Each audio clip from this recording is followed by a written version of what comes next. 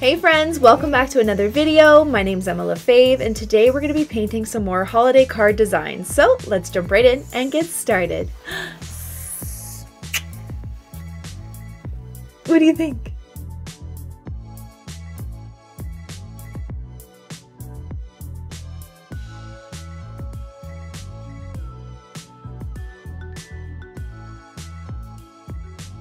Okay, so today we are doing some more holiday card designs. Again, I am using my Etchr Lab Cold Press Watercolor Sketchbooks.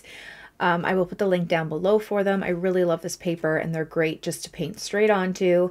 I have my Winsor Newton Professional Watercolors and then my Emma Lefebvre and Craftamo brushes. I have my size 12, my size 6 is somewhere, and my size 2.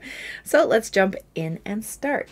So I thought I'd start off with my first design, which is going to be a loose poinsettia. So I recently did a workshop where I did um, a detailed one, which takes a little bit longer, which is fun, but um, I thought it'd be fun to try and do a loose version of it. So I am going to start by taking some red. I have my Winsor red here, and I don't want it to be too saturated. And I'm just going to start by doing kind of like leaf shapes I'm going to start by doing three leaf shapes in a circle. One, two, three. And while these are still wet, I'm just going to take up some of that water. They don't have to be perfectly shaped. I'm going to go back in with a bit more, even some darker red, and just tap kind of towards the center, like that, just for a little bit of a shadow. Then I'm going to do three more in between those spaces. I'm going to go one, and I can kind of just come out to make it look a little bit bigger. You can even just draw it with the tip of your brush. Two. I'm just going to try and go around again to make it bigger, and then three. Like so. And if they touch, some areas of the smaller ones, that's totally fine. Then again, I'm going to take some darker red. And I'm just going to, I'm going to go down the center of these, I think. Yeah. Like that. And maybe down the center of these ones too, while it's still wet. I haven't actually done a loose poinsettia before, so I don't know if you can tell. Um, this one seems a little bit too saturated, and these, I just need to move the water around, so I'm just going to lift up some of the color there just to get a bit of a highlight. Okay, and then we're going to do a couple more. So I'm going to try and make them bigger. I'm going to go around the top of those smaller ones.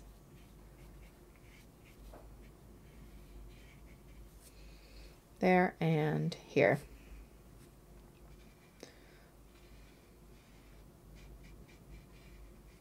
and you want to leave a little bit of white space so you see a bit of a difference um, or a separation in between the poinsettia petals. Okay, and I'm just going to go back in with some brighter red.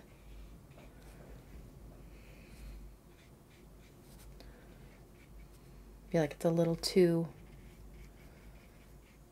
light. And then I'm going to go in with the darker red again. And I'm going to go and use that darker red, my alizarin crimson, right around the edges where the first petals would kind of be casting a shadow. And it doesn't have to be perfect. This is loose, right? It's we can add our little veins later once it's dry to make it look a bit more not detailed, but just give it a little bit more structure, like so. Okay, and then we're going to start filling in, well, this one's bleeding in a little bit too much. That's fine. Okay, we're going to start putting in some of the leaves. So I'm just going to grab some olive green here, and I'm just going to start putting in some leaves. Again, these don't have to be perfect.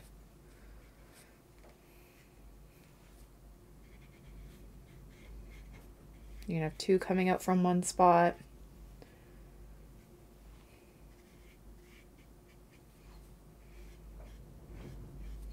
You can have a little bit of a color bleed from the red into the green.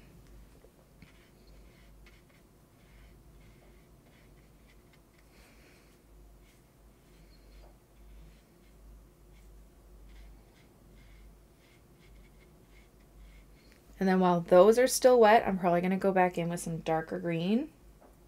So my perylene green. I'm just going to tap some of the darker green.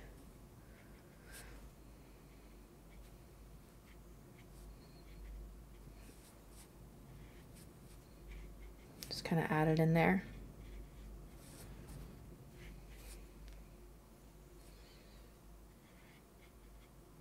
Like that making it nice and loose. Okay. Then I'm going to take my size 2 brush and I'm going to just start doing a little bit of some pine needles behind just to kind of give it a little bit more something. I don't know what, something. so like these like little um, empty kind of spaces. Just going to do a couple stems and then I'm just going to using my size 2 brush and really light pressure. I'm just going to flick out some pine needles. And you can turn your paper if you need to.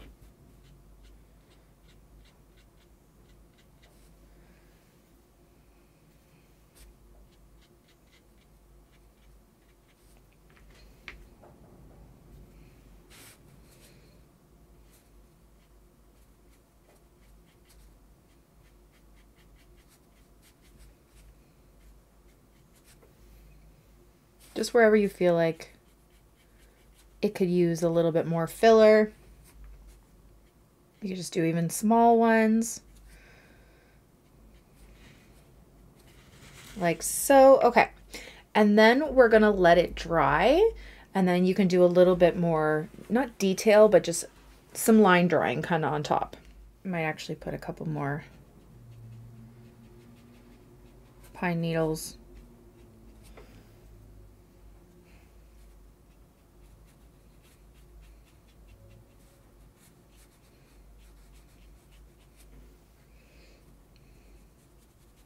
Okay. Then I'm going to take my darker red again. And I'm just going to do, with my size 2 brush, some really fine kind of veins going down the center. And I'm just curving them slightly.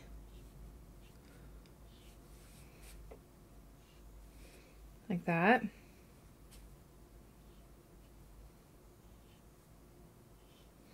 Okay, and then I'm going to take a little bit more and I'm just going to do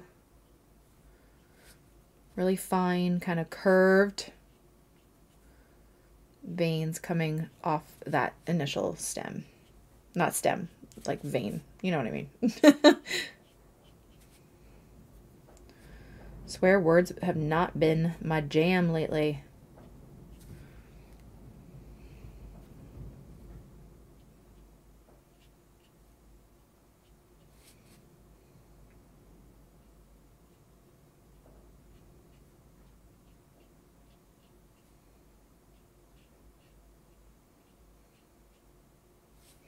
like that. And then you can even do some on the green stems if you like. Or the leaves. Oh my goodness, words. Come on, words.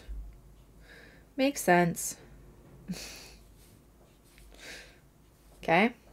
And then for the center, I'm going to take some of my cadmium yellow, which is a pretty opaque yellow. And I'm just going to do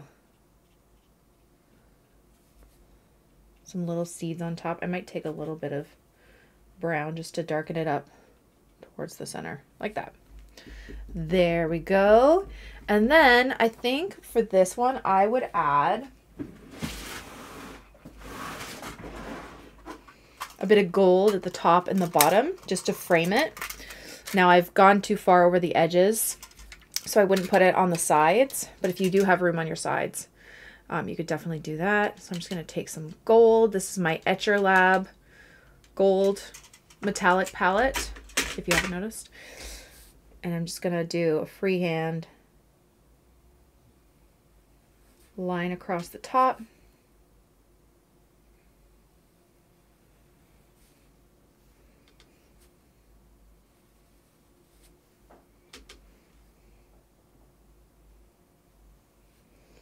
And a line across the bottom. Like that. Okay, so there is our loose poinsettia card. Okay, so for our next card, let's do a simple wreath and just find a circular object to place on top or in the middle of your card. So you can just trace kind of like a nice even circle. And I wouldn't recommend doing it necessarily all the way around. Um, just nice and lightly, just so you have some sort of a guide. And then I'm going to take my size 6 brush, and we're just going to make this so simple. Um, and we're just going to do some berries. Same kind of thing. I'm going to start off with some really saturated, darker berries.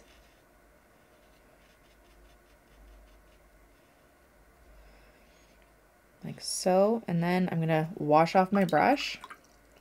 So it's just water. And I'm just going to slightly touch some of those darker berries so we get a lighter value of some. Just gives it a nice contrast of the light and the dark. Like so. I can do some there and then maybe some here, just a few.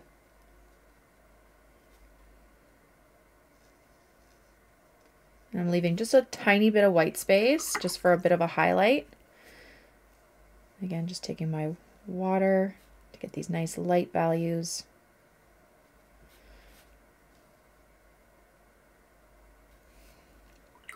Do some there and some there, and then maybe, because I like to work in odd numbers, do another one here, another little cluster.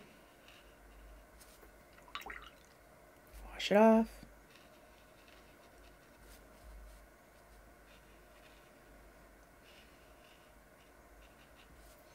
Like so. Okay. And now I'm just going to take some olive green or whatever green. Actually, you know what? No, let's change it up. Let's do like a bluish green. So I'm going to take a little bit of blue, like some of my um, turquoise, and just mix it a little bit with my green. And just get a really light wash of it. And I'm going to do some like bluish green kind of leaves. Like so.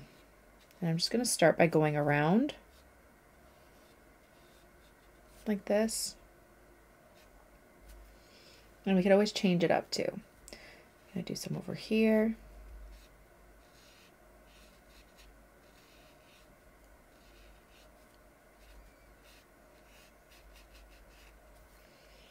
And then coming from this side.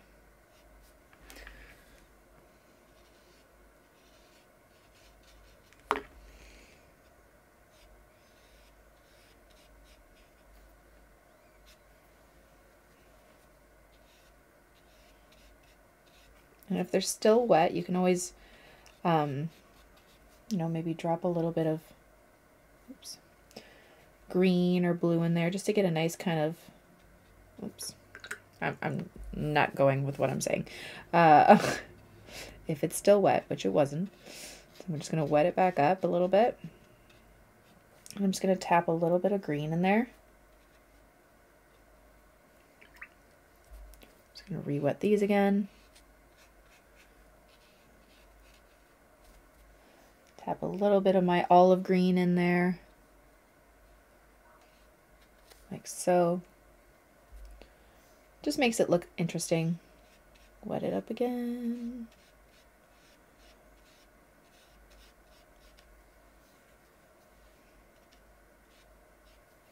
Or even some more of the blue. Like that. And then we can do some, we could even have some like white-ish kind of cottony buds. So I'm just going to do some light gray kind of ovals and then we'll connect it with um, a brown stem. So I'm just going to do light wash of black, which makes it gray. Like that. And they're just kind of like these ovals.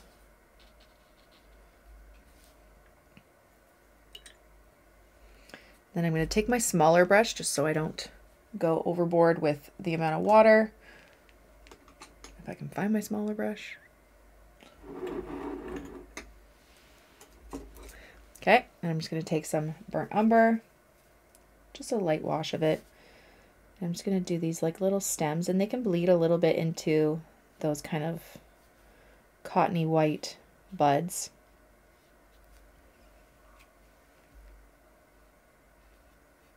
I only have two on this side. Like that.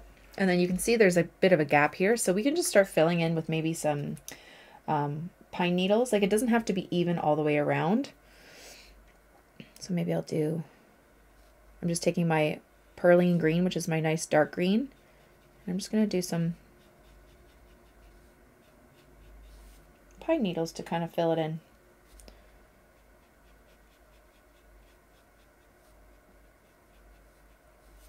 That.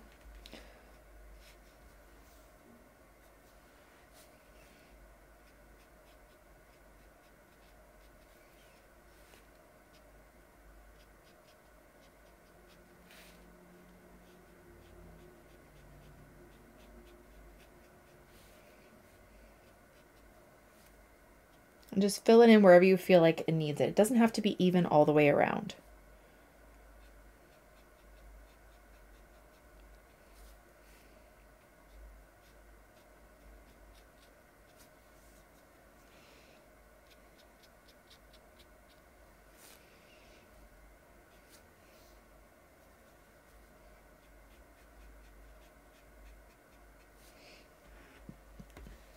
That, just something simple. And then you can always write something in there after. Um, and then with this one, I might add a bit of my metallic paint. I'm going to do this like champagne color this time. I think it would go nicely like so. That's a cute one. I like that one. Super simple and just really pretty. Okay, and then for our last and final design, I thought maybe we could do just some like hanging ornaments or something. So pick your color scheme that you want to do. I think I'm going to go with that bluish green again. Um, I really liked it, so I'm just going to add some turquoise and then some of my sap green. And I'm just going to do a circle here.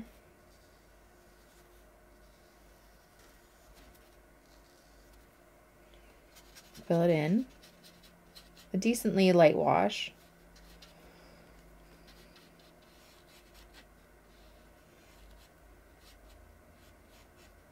And then I'm just going to go in with a bit more darker color just around just to give it a bit of shadow, a bit of dimension.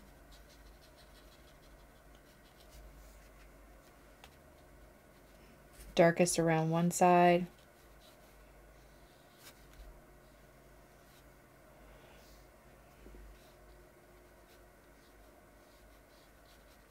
Using my Perylene green as a shadow here. Like that. I'm going to do another one, a red one. I want to make it a bit lighter so we have that highlighted area.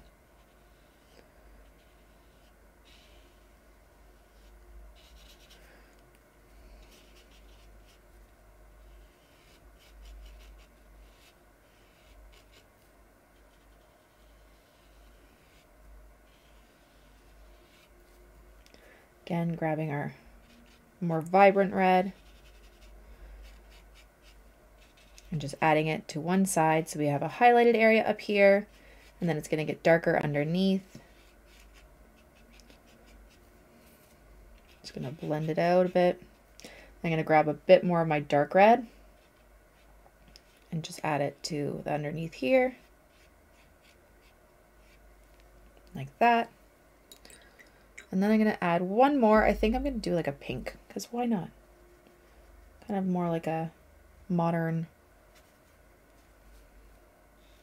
palette a little bit lighter.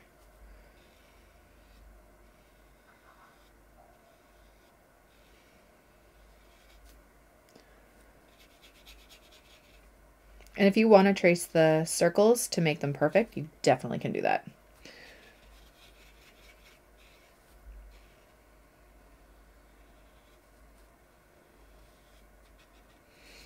That, and then just grab a little bit more darkness, add it to that one side. You can add a little bit of green to your pink, and that will give it that shadow color as well.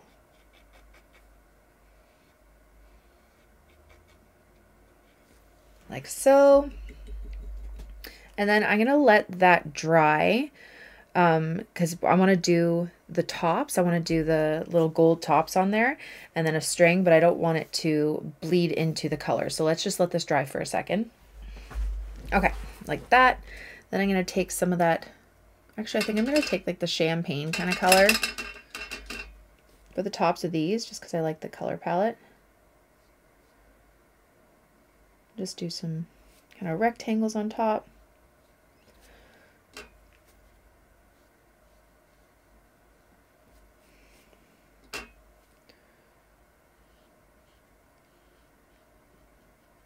Like that. Okay, and then I'm just going to take my smaller brush and just do a little, little hook.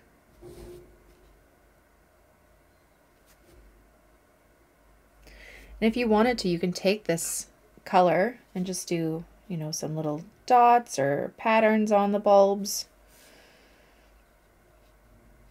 It's going to do some little lines.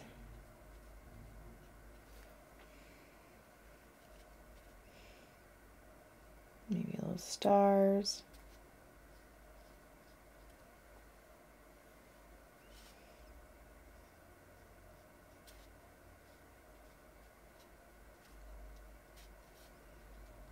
I think I might even grab a little bit of a darker metallic and just put it, let's see if this works,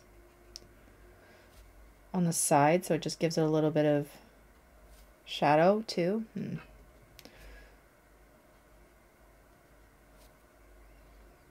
I don't know if that's working.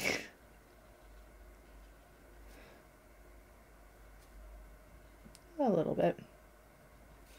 Like that. And then we're going to let that dry. And I'm just going to, where's my, there it is. Just going to take my ruler and a black pen. And I'm just going to do the string all the way up to the top.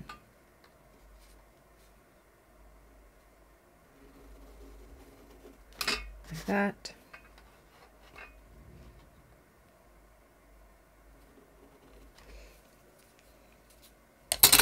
You can even do like a little tie on it if you like, a little bow. Like that. And then you can just write your message underneath. And there you go. There are three new watercolor holiday card designs. Thank you all so much for watching my video. I really hope you liked it and I hope you learned something. Don't forget to subscribe to this channel and follow me on all my other platforms for tons more content. Have a wonderful day, guys. Bye. Can you say bye?